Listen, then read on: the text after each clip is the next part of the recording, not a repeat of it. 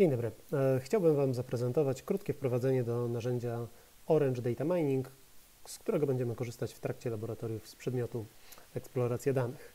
Zakładam, że poradziliście sobie z instalacją samego środowiska e, i zastanawiacie się teraz, jak e, go używać.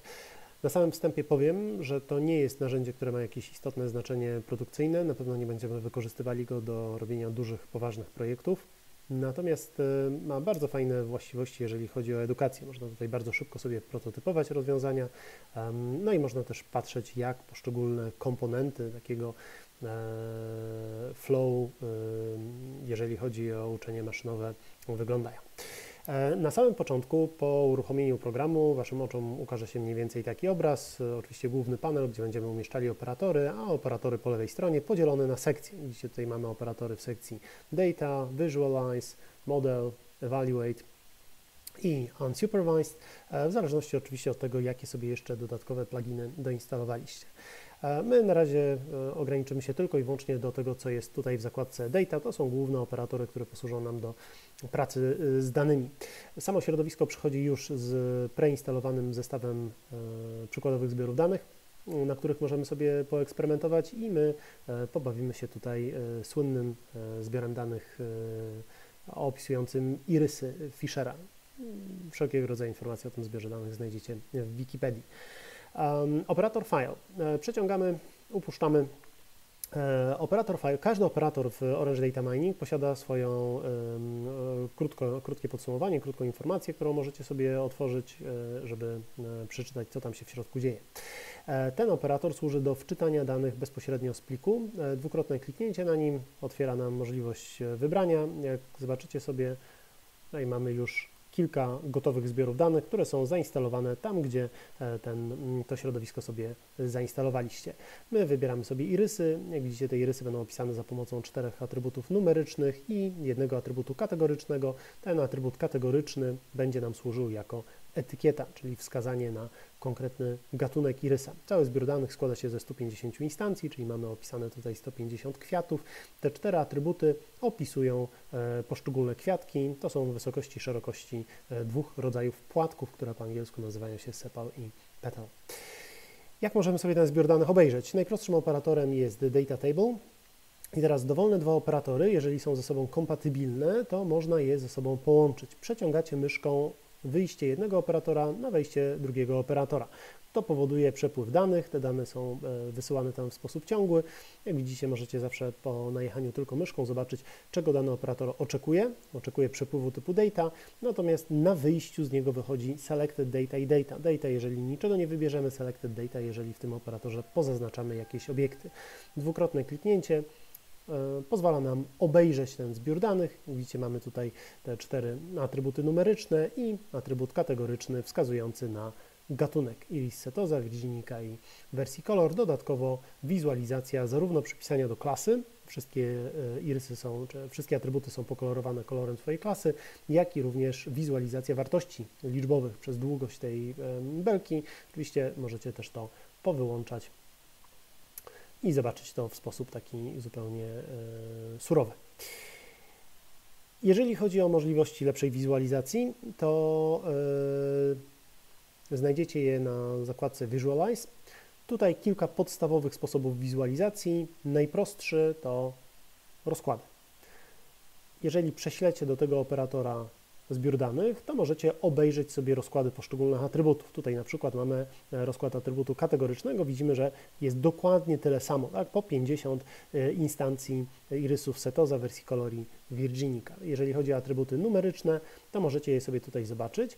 E, Group by pozwala Wam na pogrupowanie wartości dla względem zmiennej celu, czyli względem naszej etykiety. Jeżeli to wyłączymy, obejrzymy sobie po prostu rozkład wartości bez podziału na konkretne klasy. Możemy zobaczyć mniej więcej e, i spróbować sobie ocenić, czy rozkład tego atrybutu jest zgodny z rozkładem normalnym, czy nie. Jeżeli wyłączymy to, no to dostaniecie wtedy funkcję gęstości. Tu na przykład ciekawa rzecz, widać wyraźnie, że to jest taki rozkład dwumodalny, który ma e, skupienia wokół półtora mniej więcej i 5 Natomiast podobnie tutaj petal width, natomiast sepal width, sepal length bardziej przypominają rozkład gaussowski. To jest możliwość dyskretyzacji atrybutu numerycznego, czyli podziału atrybutu numerycznego na wartości dyskretne, na przedziały. Przy czym możecie też sterować liczbą tych przedziałów, żeby sobie lepiej zwizualizować ten podział.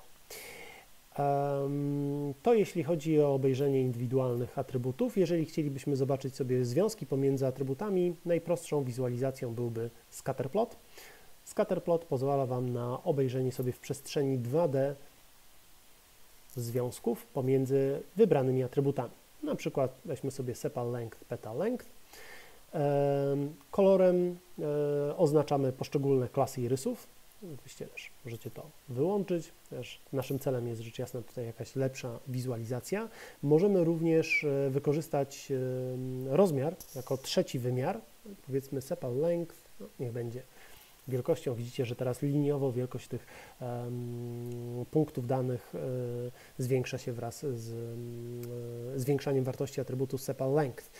E, jittering. W każdym narzędziu, którym, z którym będziemy pracowali, będzie pewnie e, taki suwak jitter, który pozwala Wam nieco losowo poprzekładać, poprzesuwać punkty. To wynika z tego, że gdybyśmy wizualizowali sobie w jakiejś zmiennej, e, czy w jakiejś osi wizuali, wizualizowalibyśmy zmienną kategoryczną, na przykład na osi Y, ach, przepraszam, tutaj akurat się to, to się nie uda, E, to wówczas e, istnieje niebezpieczeństwo, że wiele punktów będzie ze sobą zbitych, tak jak na przykład tutaj widzicie, tak? wiele punktów ma wartość 5, tak? i mamy możliwość e, losowego ich rozrzucenia. Możecie też sobie pokolorować mniej więcej obszary kolorami, żeby zobaczyć, gdzie w tej przestrzeni cech mniej więcej umieszczone są irysy wersji kolor, Virginika i tak dalej. Możecie też sobie nałożyć na to gridy e, i tym, e, i tym e, podobne. Nawet możecie sobie zrobić linię regresji, regresję dla wszystkich plus linię regresji dla poszczególnych, dla poszczególnych gatunków. I jeszcze jedna przydatna wizualizacja, od której zawsze warto zacząć analizę każdego nowego zbioru danych, mianowicie wykresy pudełkowe. O, przepraszam, wykresy pudełkowe, które pokazują Wam poszczególne atrybuty. Może zacznijmy od e, najprostszej wersji. Wybieramy atrybut, na przykład sepal length, no i widzimy tutaj wartość, widzimy tutaj wartość, e, widzimy mediany, widzimy wartość średnią, widzimy wartości e, pierwszy kwartyl, trzeci kwartyl, wartość minimalną, wartość maksymalną. No i ten, to odległość między pierwszym a trzecim kwartylem to tak zwany interquartile range. Możecie naraz zwizualizować sobie.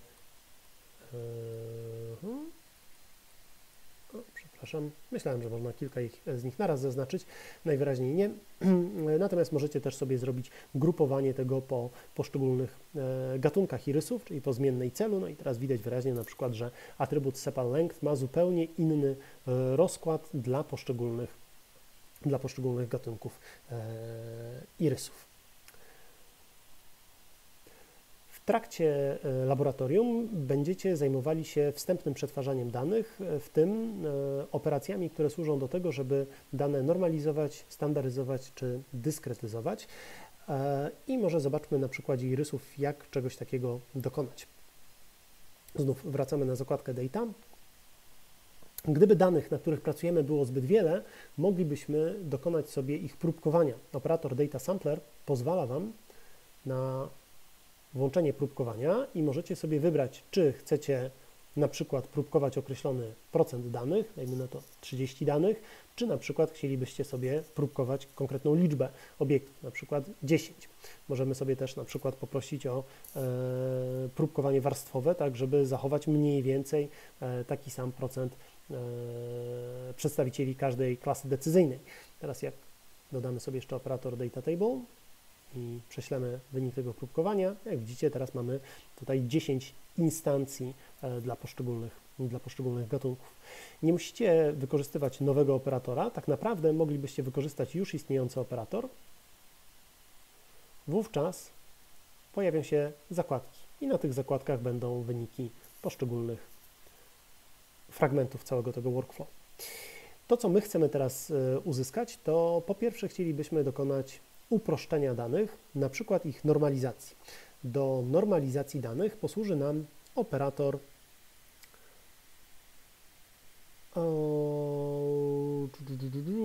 preprocess. Prześlemy sobie wszystkie dane do operatora preprocess i ten operator pozwala Wam na wykonanie e, całej masy różnego rodzaju operacji, na przykład normalizacji. Jeżeli chodzi o normalizację, możemy sobie na przykład przeskalować wszystkie atrybuty do jakiegoś e, predefiniowanego e, przedziału, na przykład do przedziału od 0 do 1. Spójrzmy, jaki będzie wynik. Może usunę sobie te przepływy i wykorzystam ten operator, żeby obejrzeć wynik.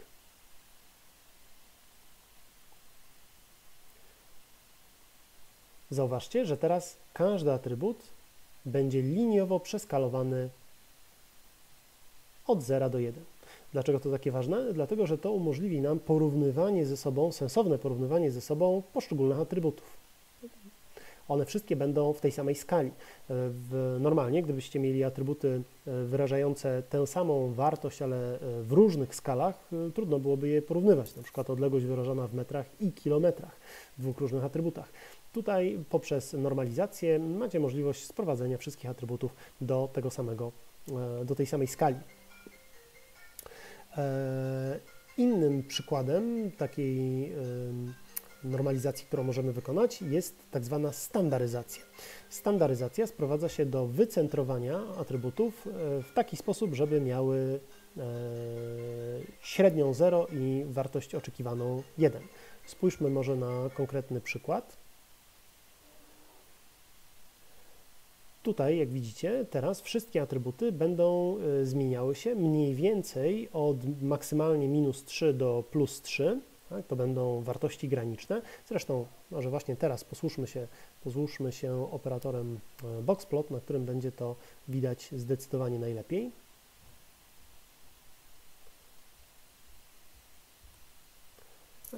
Mamy teraz atrybut ze średnią 0 yy, i odchyleniem standardowym no, mniej więcej na tyle, na ile się da. 1. Widzicie, że każdy atrybut teraz ma średnią 0 Zatem e, atrybuty mogą być ze sobą znowu porównywane, troszeczkę inaczej niż w przypadku takiej normalizacji liniowej 0,1. E, różnica tutaj sprowadza się do tego, że jeżeli w jakimś atrybucie występowałaby jakaś wartość e, bardzo osobliwa, na przykład ogromna, na to e, mamy atrybut z dochodami i większość ludzi zarabia między 2 a 10 tysięcy złotych i nagle dodajemy tam kogoś, kto zarabia 400 tysięcy złotych miesięcznie, jakiegoś właściciela banku. E, przy przeskalowaniu liniowym od 0 do 1 oznaczałoby to totalne spłaszczenie tego atrybutu, to znaczy poza tą jedną, e, jednym przypadkiem maksymalnym, który by został przeskalowany do jedynki, wszyscy pozostali zostaliby przeskalowani do przedziału od 0 do 0,05 na przykład, tak? i stracilibyśmy jakąkolwiek informację, ponieważ wszystko byłoby zupełnie spłaszczone. Jeżeli dokonamy standaryzacji z kolei, to zachowujemy sobie e, rozkład e, taki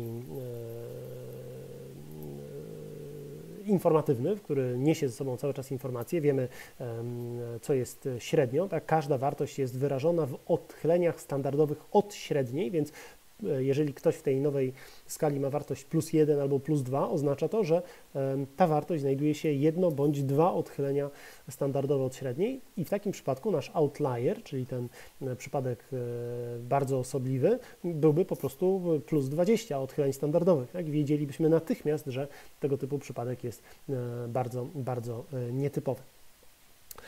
Um, co jeszcze możemy tutaj zrobić, jeżeli chodzi o taki preprocess? Więc mamy sobie skalowanie, tak, mamy tutaj właśnie, to jest standaryzacja, e, przepraszam, czyli to jest, to jest centrowanie do wartości średniej równej 0, a to jest właśnie podział przez, e, podział przez e, wyrażenie wartości atrybutu w odchyleniach standardowych od średniej. I teraz byśmy zobaczyli dokładnie to, o co chodziło, czyli teraz mielibyśmy średnią 0 i odchylenie standardowe 1 dla każdego z analizowanych atrybutów, a jeśli chodzi o wartości, no to one by się wtedy rzeczywiście zmieniały i minus 2 oznacza to, że akurat w tym konkretnym wypadku wartość tego atrybutu jest bardzo e, odległa od, od średniej. Tutaj mamy 2,5 z kolei, czyli znowu 2,5 raza 2,5 e, odchylenia standardowego powyżej, powyżej średniej. E, oprócz tego operator preprocess pozwala Wam również na przykład na e, wykorzystanie, wypełnienie wartości pustych. Tu akurat nie mamy wartości pustych, w tym zbiorze danych mamy wszystkie wartości określone, ale gdybyście mieli zbiór danych, w którym niektóre wartości atrybutów byłyby puste, moglibyście je na przykład automatycznie zamienić na wartość e, modalną, czyli najczęściej występującą w danym atrybucie. Moglibyście zamienić ją na jakąś wartość losową, po to, żeby te wartości puste nam niczego nie psuły, albo na przykład moglibyśmy w ogóle usunąć wszystkie e, wiersze, w których występują e, wartości puste. Ten operator pozwala Wam również na włączenie dyskretyzacji. Dyskretyzacja, która pozwala Wam na podział atrybutu podział atrybutu ciągłego, zmiana atrybutu ciągłego na atrybut na atrybut dyskretny, to znaczy podział na przedziały. E, do wyboru macie dwa sposoby. Możecie sobie zrobić e, podział na przedziały o równej szerokości, bądź podział e, na przedziały o równej głębokości. To oznacza, w tym przypadku Equal Frequency Discretization oznacza automatyczne wyznaczenie takich granic przedziałów, żeby do każdego przedziału wpadło mniej więcej tyle samo instancji. Tutaj z kolei możecie wskazać podział na przedziały o równej szerokości, czyli dzielimy sobie całą przestrzeń atrybutu na e, k równych przedziałów i patrzymy potem, ile tam wpadnie. Do niektórych wpadnie więcej, do niektórych wpadnie mniej. Możemy sobie spojrzeć jeszcze na wynik. E, jeżeli dokonamy sobie tego podziału na przedziały o równej głębokości i spojrzymy sobie teraz na któryś z atrybutów, tak, to okaże się, że teraz szerokości tych przedziałów mamy od minus 1 do minus 0,12 i potem jest tak, te szerokości każdego z tych przedziałów są takie same, ale liczności tych przedziałów są bardzo różne. Tak, mamy bardzo różną liczbę e, obiektów, które wpadają do każdego z tych przedziałów. Natomiast gdybyśmy zrobili sobie, możemy sobie też to e, wynik tego przetwarzania możemy obejrzeć w postaci histogramu, tak, i widzicie teraz, że mamy bardzo nierówny podział, jeżeli chodzi o liczbę obiektów wpadających do każdego przedziału. No, poza tym irisy, oczywiście irisy są tutaj. Aha, i zwróćcie uwagę, że teraz wszystkie atrybuty stały się kategoryczne, czyli e, stały się dyskretne. Natomiast jeżeli wybierzemy sobie dyskretyzację na przedziały o równej częstotliwości, też równej głębokości, jak to się czasami nazywa, wówczas będziemy mieli mniej więcej równą liczbę obiektów wpadających do każdego przedziału, na tyle na ile to możliwe, natomiast szerokości tych przedziałów będą teraz bardzo różne. Będą się zdarzały szersze, będą się zdarzały mniej szerokie przedziały. Tak? System automatycznie będzie dobierał owe granice.